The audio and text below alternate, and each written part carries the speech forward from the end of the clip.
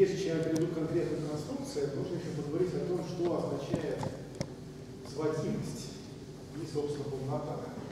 Вообще математики очень любят одни задачи сводить к другим. Да, есть даже там анекдоты, что инструкция по кипячению воды, нужно сначала налить воду в чайник, потом его включить. Вот. А что делать, если вода уже в чайнике? Ну, можно воду вылить, и тогда задача сведется к предыдущей.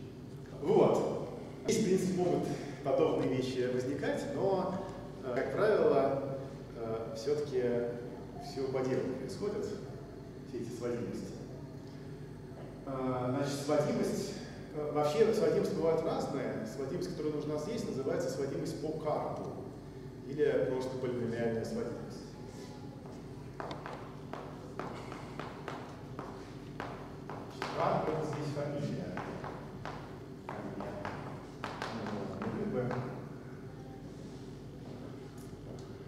Сводимость по карпу устроена так. Значит, она вот обозначается вот так вот, что тут индекс p от слова полиномиальная. Значит, а сводится по карпу к b.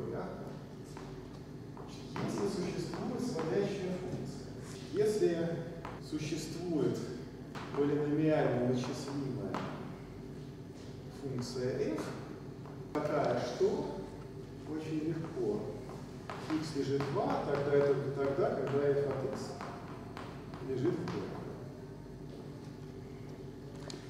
Значит, в чем идея?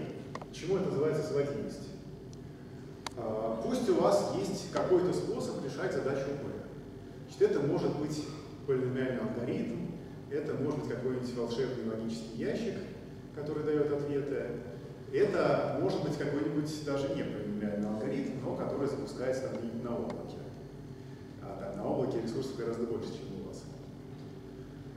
А, тогда вы уже сами сможете решить задачу А. Каким образом? Вот вам нужно определить, лежит ли x в A. Сначала вы сами при помощи полиномиальной функции вычисляете f от x. А потом про f от x спрашиваете у устройства, которое решает задачу b. И получается, что тот же самый ответ будет ответом на ваш вопрос про x. Понятно? Абсолютно понятно. Хорошо, значит, сейчас будет несколько простых примеров, как можно разные задачи друг к другу сводить.